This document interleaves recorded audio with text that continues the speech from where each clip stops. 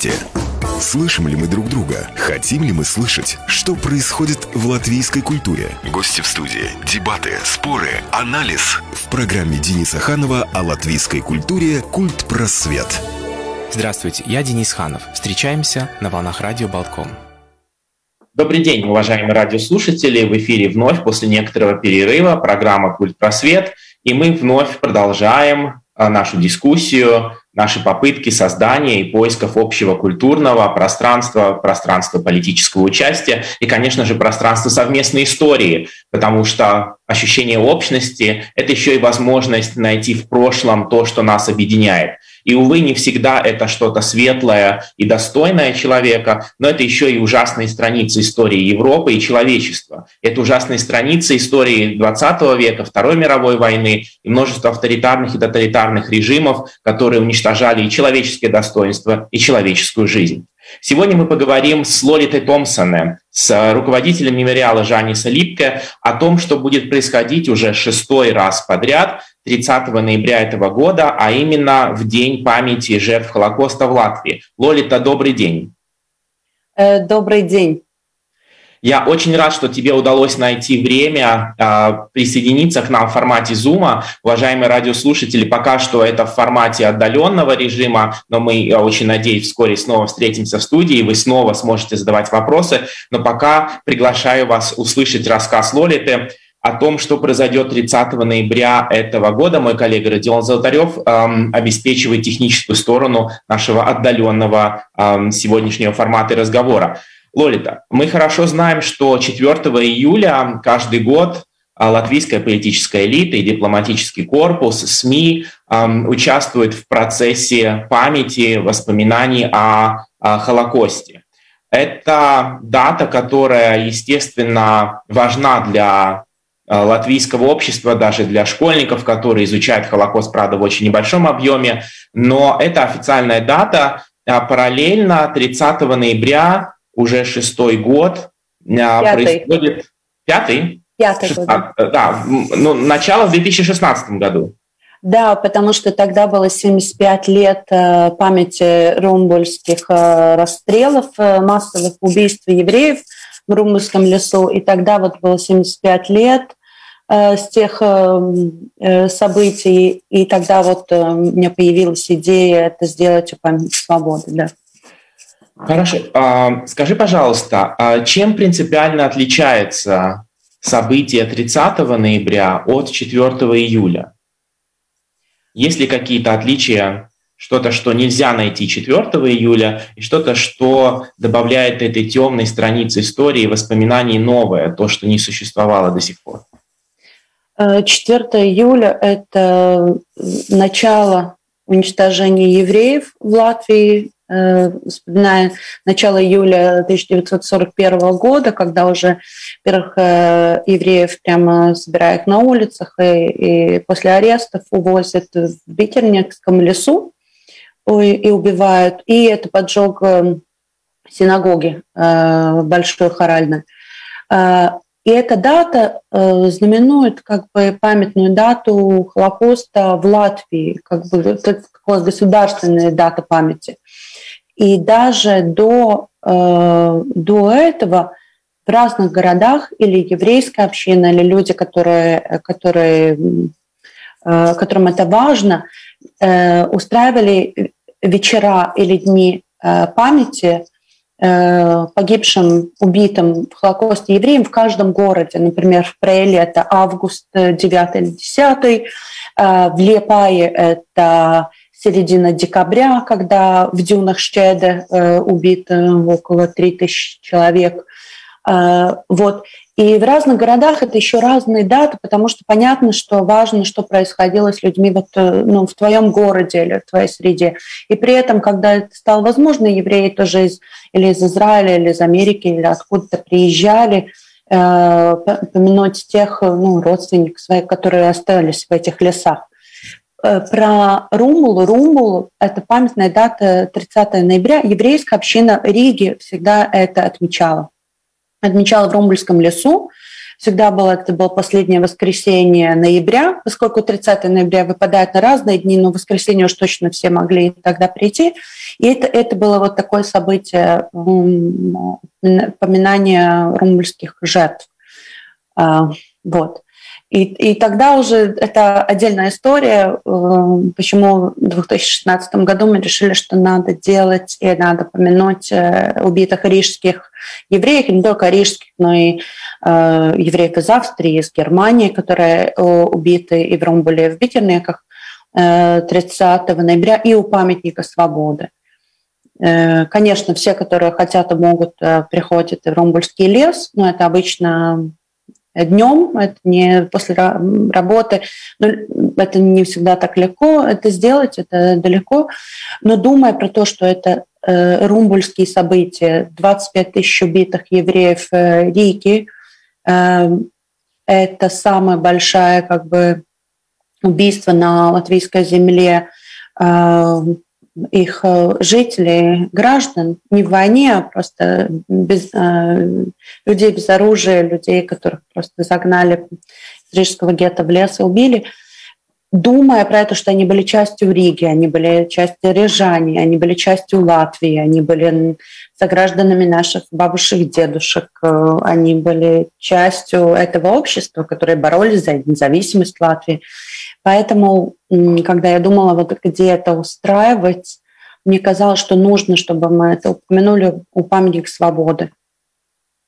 Памятник свободы таким образом становится э, символом политической нации, да, государственной нации, которая объединяет разные общины, потому что ты уже упомянула, что а, в освободительных войнах в период а, с 18 года участвовали в создании республики, по сути дела, и представители еврейской культуры. Потом а, еврейское население было частью и демократического общества, множество партий, и печатные органы, СМИ, театры и так далее, и так далее. Межвоенный период еврейская культура э, была неотъемлемой частью латвийского общества и, что называется, цвела пышным цветом. А я хотел спросить, может быть, чуть более концептуально, и мы немножечко на мгновение отдалимся от конкретного э, дня, от конкретного мероприятия памяти. В современном мире, а, к сожалению, жизнь неумолима. А, уходят те люди, которые были жертвами тоталитарных режимов, пережили концлагеря, пережили Холокост а, люди, потерявшие в своей жизни множество родственников, близких и друзей, они были основным источником свидетельств, они были живыми архивами, живыми библиотеками. Но, увы, живые библиотеки уходят, эти люди покидают эту жизнь, как тебе кажется, за те долгие годы, пока ты занимаешься мемориальной политикой, я бы сказал так, а, изменилось или ты видишь какие-то изменения в формах воспоминания, будь то носители воспоминаний, будь то каналы, будь то формы и реакция людей тоже. Есть ли какая-то, скажем, глубокая, такая очень насущная динамика? Я думаю, что много изменилось а, созданием разных, я бы сказала, таких культурных продуктов на тему Холокоста Латвии. И не только про убийство евреев, но про евреев как часть, э, часть истории Латвии, что это не про их, а это про нас.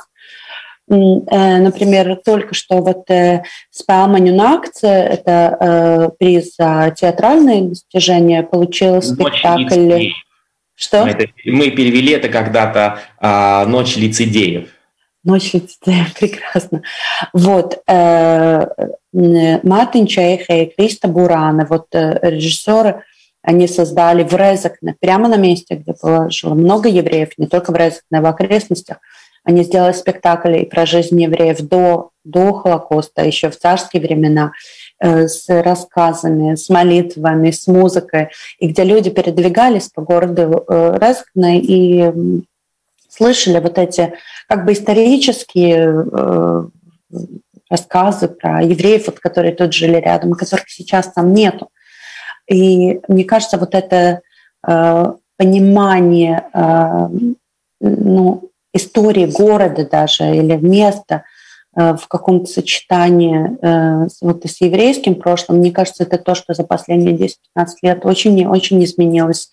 и в театре, и в кино, что это не про вот мы снимаем сейчас фильмы, там все вроде про евреев, а, а евреи в фильме, например, «Городу реки» Кайриша, они часть вот то, что происходит с этим городом, ну, потеря евреев в этом городе, это тоже часть вот этого истории как бы латышского парня Ансиса, который связан с ними. Вот мне кажется, что именно литература, кино, театр, он как-то очень поднимает вот эту тему э, памяти. И думая про то, кто это рассказывает, ну вот он, э, э, ты сказал про бабушек и дедушек или про тех свидетелей Холокоста, вот, которые уходят, уже уходят последние – надо понимать, что люди, которые пережили Холокост, не всегда говорили про это. Только что я брала интервью у э, э, она, э, Карен Фростек, профессор Бостона. Э, ее дедушку и бабушку убили в Рум, не в Румбуле, а в Юмпромойже, э, который рядом с Даугавой. Э, их последняя станция, как и для многих евреев Европы, около 4000 евреев было в, из Австрии, из Германии, в Юмпроможе. Их последняя станция была Щиротова. То есть э, и она про это думает совершенно по-другому, по, по потому что она поэтому не знает своего бабушку и своего, дед, своего дедушку, потому что их уничтожили. Она говорит, я, я знаю, что у людей бывают замечательные отношения с своими бабушками, дедушками. У меня нет этого опыта, мне вот это забрали у меня. Вот папа выжил в Холокосте, а, а вот про них я ничего не могу сказать. А, вот. Ну, она приехала в Ригу и как-то пытается а, означить это вот место, что там был лагерь, и, и убили около 800 человек прямо на, на том месте. Вот мне кажется, вот это сочетание вот этих внуков и, и мост поколений и деятелей культуры, которые этим интересуются, мне кажется, это такой вот новый путь, может быть, как про это говорить, когда нет уже тех, которые выжили в Холокосте. А есть какие-то другие альтернативные, может быть, педагогические инструменты в других странах, э, в Израиле, в Германии, в других странах Европы, в Соединенных Штатах, которые, может быть, тебе известны, но под какому-то твоему представлению не могли бы а, на самом деле и быть использованы в Латвии или, может быть, в Восточной Европе? Есть ли а, региональные и культурные отличия в, в культуре воспоминания, например, технологические? Я слышал о голограммах, да, о тех, которые возмущают многих людей. Может быть, ты могла бы упомянуть об этих моментах? Ну, э, когда с тобой разговаривают, отвечают на твои вопросы, выжившие в Холокосте человек, который голограмма, который компьютерным вот этим способом отвечает на твои вопросы, ну, э, то есть, э, то есть э, я думаю, что это может такое дело поколенческое. То есть мне бы казалось, это, ну, это потому что я бы лучше почитала книгу или просмотрела длинное интервью с этим человеком. Мне нужна вот эта такая странная как бы интеракция э, посредственная. Но я думаю, что для многих людей это то, что ты можешь задать вопрос, а почему люди молчали, почему не помогали, а как ты живешь сейчас, вот после ты потерял всю семью, вот как ты живешь. Мне кажется, что это может быть что-то срабатывает, вот какая-то связь. Я не хочу быть такая осуждать вот именно такой подход, но мы тоже в музее Липки делаем и виртуальную реальность, чтобы э, э, через вот эту виртуальную реальность, через эти большие очки люди могли войти в вот этот бункер и, или услышать или узнать историю про маму Э, с дочкой Ханну и Софией Штайн, которые Липки спас, и как, как они спаслись, или про то, как этот сын Жаниса, который мальчик, вот как он это видит, вот спасение, спасание евреев, и как это происходит. Э, ну, то есть понятно, что мы тоже ищем разные, разные способы. И что было интересно с пандемией, мы сделали в, э, в начале этого года, ну это все началось два года назад, Э, есть такая подпольная Рига и аппликация, которую можете открыть в телефоне э, и гулять по тем местам в Риге, где, которые связаны с Холокостом, где людей спасали, узнать их истории. Это не всегда заканчивалось хорошо, понятно. Но вот э, как бы вот как твой город, где вот эти места. И аппликация на четырех языках, и на русском, на латышском, на немецком, и на английском.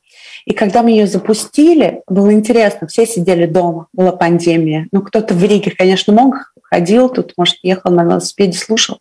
Но мы получили очень много отзывов и на русском, и на английском, а, что люди это слушали как подкаст. Они, может, гуляли по Риге по, по своей карте какой-то, не знаю, телефоне, а, но они вот слушали эти рассказы выживших их спасения евреев, они слушали как вот, не знаю, вот как мы сейчас на радио или как, э, как э, такое. И мы а когда создавали это, мы не думали про это, что это может сработать и так. Мы думали, а... что люди будут ходить, аппликация, ходить по этим местам, слушать вот эти, смотреть на эти фотографии, слушать вот это, эм, не знаю, узнать что-то про свой город, какой-то вот пласт другой города. Э, оказалось, что это может и работать по-другому. Параллельно с цифровыми технологиями все еще существуют книги и, конечно же, исторические э, источники, свидетельства. В случае, если у кого-то из наших радиослушателей есть свидетельства в разных всевозможнейших форматах об истории э, евреев в Латвии или э, об истории их преследования или об истории их спасения. Есть ли возможность передать эти материалы на сохранение мемориалу. Подобная функция э, присутствует в спектре заданий мемориала или же нет? Потому что ведь у многих э, возникает вопрос, хорошо, у меня есть исторические свидетельства, старые письма или дневник дедушки, но он может рас, рассыпаться у меня на глазах, я не знаю, как сохранить его. Это очень много технических вопросов.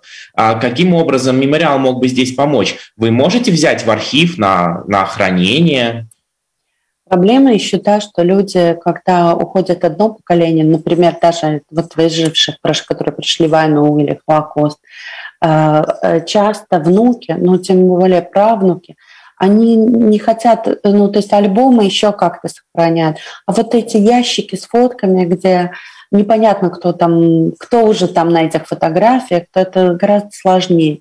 Э, музей евреев Латвии сначала, я думаю, что с конца 80-х собирает вот такие свидетельства. Мы вот сейчас, э, музей Липки работает с 2012 года, мы собираем больше те свидетельства, которые связаны э, с спасанием э, евреев. Не всегда это закончилось хорошо, то есть это не всегда удалось, но именно вот такая наша тема музея. И, конечно, это, это находит потом свое какое-то отражение и в, не знаю, или в статьях, или в исследованиях. Конечно, музей это сохраняет, потому что э, в этом и проблема, что если при влажности или при просто, не знаю, у нас разные проблемы э, с старыми письмами, или их э, или вода, или влажность, или, не знаю, мыши какие-то. Я про то, что это не всегда просто сохранить что-то там на чердаке. есть, э, а, случае... иногда это очень важно. Но в случае, если такие материалы есть, их можно передать на сохранение в мемориал? Да, конечно. Ну, мы так и делали, когда люди приносили фотографии, они даже готовы нам их отдать, но мы им всегда э, делали хорошего качества сканирования фотографий, чтобы они могли уже дальше в каком-то другом носителе их сохранить, если они не хотят физически вот, э, фотографии. И, ну, так, э, так, такая, такая какая-то система, что, потому что нам только кажется, что все хотят сохранять каждую, каждую галочку и записочку. Люди, сейчас в моде какой-то минимализм, и никто не хотят, не хочет, ну, то есть многие люди уже не хотят э, жить с этими чемоданами свидетельств. Минимализм памяти – это очень интересное понятие, которое ты сегодня ввела в наш Да, да, да, да, да, вот именно. А, ну хорошо, подобный минимализм, конечно же, подразумевает некоторую довольно жестокую и печальную селекцию, и нередко эти альбомы или, допустим, коробки с диапозитивами потом оказываются просто на помойке. Да. И их, но их там находят, и некоторые художники и кураторы потом возвращают их к жизни. А, вопрос связан с учебниками. Давай попробуем заглянуть в современные учебники истории Европы и Латвии и тебе, как человеку, который работает с, со школьниками разных возрастов в, в мемориале, и наверняка в семье тоже есть возможность заглянуть в учебники кого-то из молодых родственников, если у тебя какие-то пожелания к к формам изучения Холокоста в Латвии и в Европе, к содержанию, к каким-то методикам. А если бы вот ты сейчас полистала учебник истории, чего тебе там не хватает? Мне кажется, во-первых, э, понятно, что э, все меньше и меньше уроков э, в школе для истории. И то, что, например, история Холокоста Латвии, история Холокоста Европы – это ну, по уроку в девятом классе, один урок и в двенадцатом классе. Это понятно, что учитель истории или социальных наук, он должен быть очень а, как-то а, найти другие способы рассказать, если э, кажется, что тема Холокоста, она важная. Музей, конечно, занимается педагогической деятельностью. У нас есть школа СОМа, то есть э, Э, школьная, э, школьная сумка, не знаю. Ранец. Ранец, да. Э, и когда-то, конечно, до пандемии школьники приходили на программы «Живем», то есть приходили, приезжали в музей. Сейчас это все понятно, что это тоже как мы вот сейчас через Zoom. Ну, именно что это помощь учителям, что не все, не все темы нужно самому, самому как-то при, или преподавать, что-то для этого есть и музеи, и программы, что-то такое, что еще э, помогает.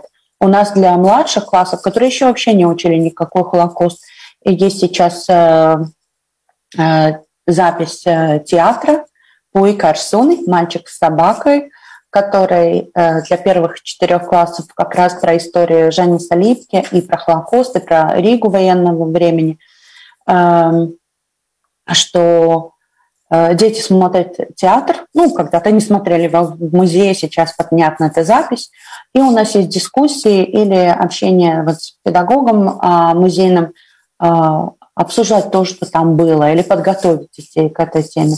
Потому что понятно, что ну, только стоять у памятника и, и, и, или посложить свечи, ну, даже если мы это делаем, памятник свободы, нам это важно, э, Э, это ну, для школьников это, ну, это такое странное, какое-то очень отчужденная э, такая ак, акция. А узнать что-то, и узнать через живые истории или через театр, что произошло, ну, скажем, с евреями Латвии. И что, мне кажется, очень важно в школе, я думаю, что это меняется сейчас, наверное, с новыми программами, что евреи не пришли Э, в Ригу, чтобы или в Латвии, чтобы их убили. Они, история евреев в Латвии, ей около 300 лет. Понятно, что они еще жили, когда территория Латвии была в, цар, ну, царской, э, в царской России. И про это тоже стоит думать, что это не пришельцы, которые вот, вот и все, что мы про них знаем, что их всех убили. Мне кажется, очень важно вот именно этот момент, как выглядела Рига и Латвия до этого, где там жили и евреи, и русские, и поляки, и белорусы, и немцы, э, и что это было такая очень разно, разносторонное, культурное, религиозное место и, и государство. Вернемся теперь к 30 ноября. А что происходит, или вернее, что до сих пор происходило а, в рамках этого а, поминального вечера или события, и, может быть, и здесь за эти несколько лет у тебя создалось впечатление, что что-то меняется, появляются новые участники, может быть, кто-то из политической элиты города или страны заметил это мероприятие, может быть, кто-то никогда не знаешь, э, что происходит. Кто-то пытался, условно говоря, пользоваться этим как политическим капиталом или медийным. То есть ведь вокруг каждого мероприятия есть какие-то параллельные содержания. Может быть, ты могла бы описать это? Так, до этого, как э, я расскажу про 30 ноября, я просто хотела упомянуть, что в этом году, поскольку э, это 80 лет начала оккупации нацистами Латвии и начало убийств, массовых убийств евреев – а, в Румбуле и евреев Европы, которых сюда привезли, обещаем э, школы и жилье, и их привезли просто здесь, э, чтобы они были в гетто или в лагере работали до смерти или просто убили. И в этом году на станции Шчиротова будет памятное, э, памятное возложение там, свечей, и там будет речи и упоминание вот этих еврейских, э, европейских евреев. Именно потому, что для латышей Штиротов – это станция, откуда их всех выслали, не всех, но тех, которых высылали в депортациях сталинских, в ГУЛАГ. То есть это вот отправная точка э, в никуда, откуда часть вернулись, а части остались э, в, в этой ссылке.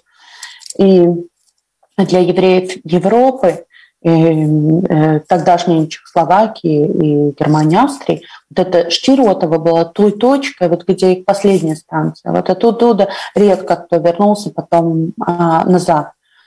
И думая про это место, вот одна станция, вот эти истории, которые связаны и история Холокоста и история сталинских депортаций. Но вот как, как про это место думать, это, это нам не приходилось до этого э, с этим сталкиваться. Э, почему? Потому что э, только в этом году в Шчеротове что-то происходит. Э, там будет мост э, с разными городами э, Германии, там э, Штутгарт, э, Нюрнберг, э, Берлин, э, Хамбург, Гамбург, разные еще другие места, э, меры, меры городов, как это, мэр, а, главы, да, главы да, этих разных городов э, будут подключаться э, вот из своих городов, куда, куда отправились, смерть, в принципе, евреев, их, их стран и мест. Вот. И мне кажется, вот это такая что-то ну, которые в первый раз, на самом деле, что такое происходит э, и в Щеротове. И это 29 ноября, ну что 80 лет проходит с тех событий. А у памятника свободы, поскольку у нас сейчас ситуация пандемии, что уже второй год мы в очень странных условиях, никто не может запретить приходить к памятнику свободы и возложить свечи.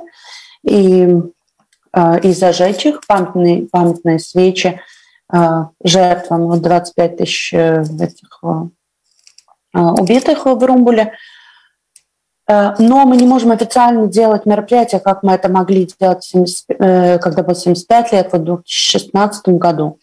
Приходили к памятнику всегда люди, которым было это важно, и русские латыши, и евреи, и просто туристы, которые мимо проходили – Э, приходил и президент Вейон, сам просто пришел 15 минут до того, как мы должны были уже убирать свечу, возложил свечу без журналистов, фотографов, ну, то есть кроме своего там, э, который президентский.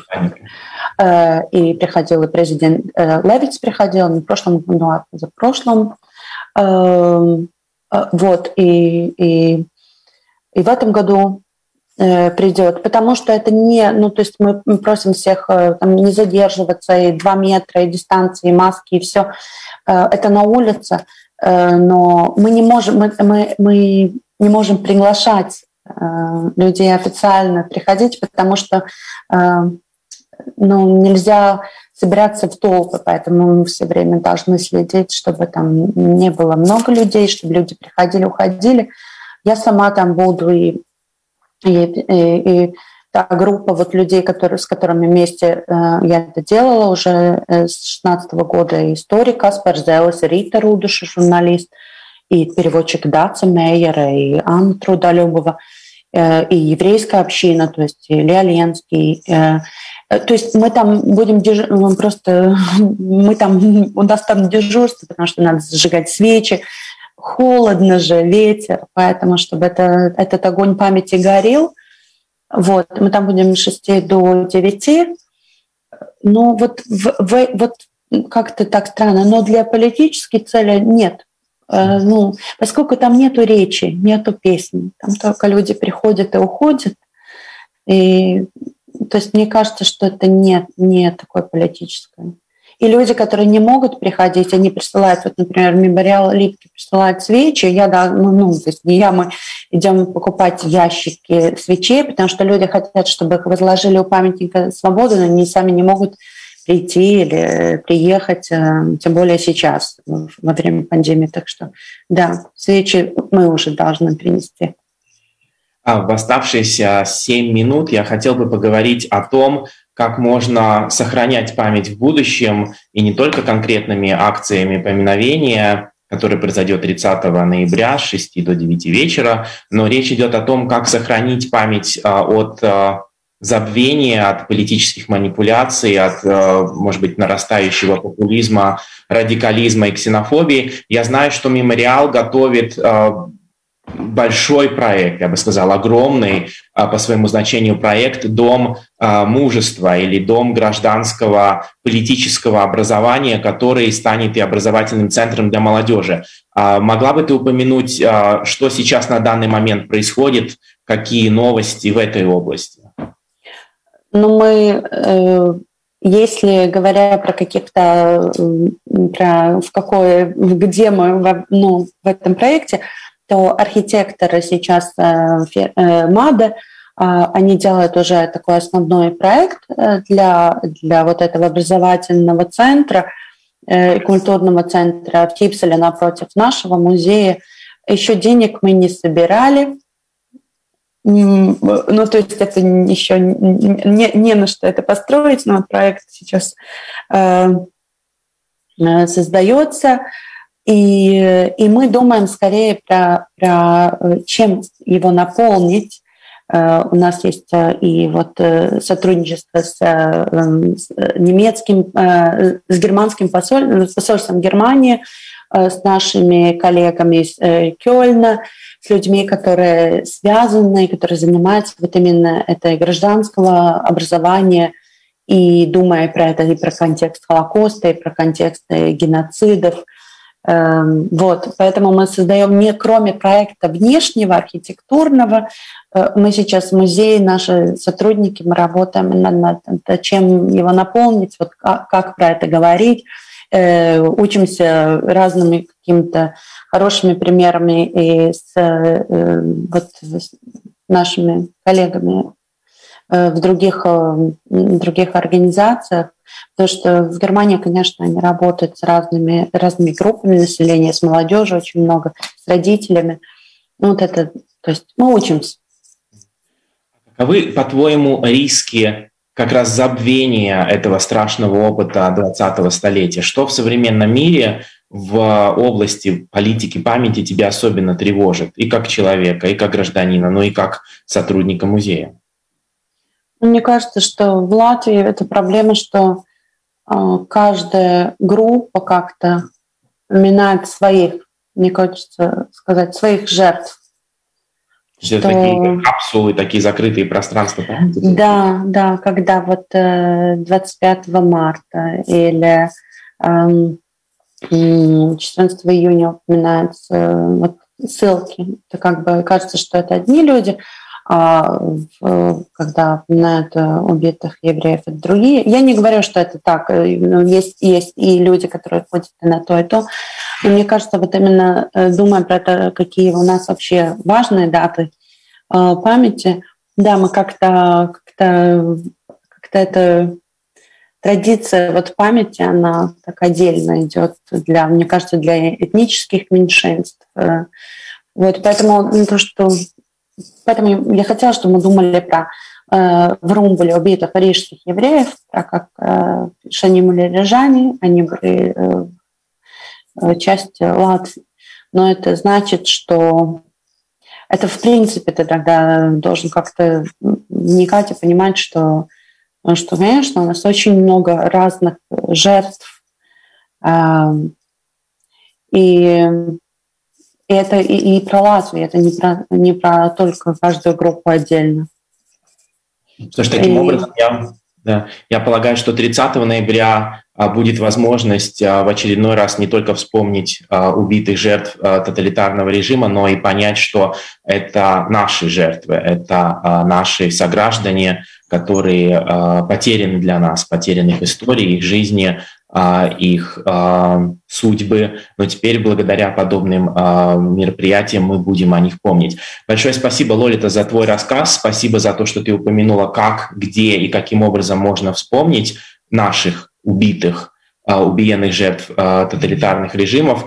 Мы сегодня прощаемся. На следующей неделе, в пятницу, мы встретимся с очень интересным собеседником, собеседницей Инессой Вайвары, которая является одним из активнейших представителей гражданского общества, и она расскажет, каким образом можно действительно менять жизнь вокруг себя, даже будучи человеком, который, может быть, не участвует в выборах и не участвует в политике, но вокруг себя реальность менять можно, можно и нужно. Большое спасибо Родиону Золотареву за обеспечение технической стороны нашего эфира. Лолита, еще раз большое спасибо, выдержки, выносливости и сил музею.